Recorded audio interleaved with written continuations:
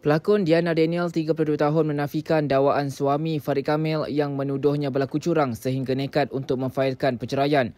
Diana ketika ditemui di Mahkamah Rendah Syariah Petaling, Subang Bestari berkata segala tuduhan yang dibuat Farid adalah fitnah semata-mata dan segala masalah yang berlaku berpunca daripada kesalahan suaminya.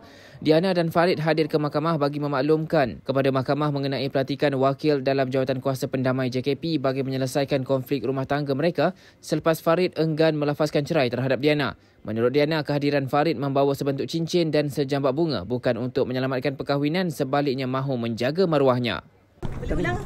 Bayangkan cincin yang dia nak bagi tadi tu Dia dah hilangkan selama 8 tahun Baru hari ni dia nak belikan balik cincin perkahwinan kami selepas 8 tahun Kalau betul saya ada orang ketiga Kenapa dia nak belikan cincin kahwin saya?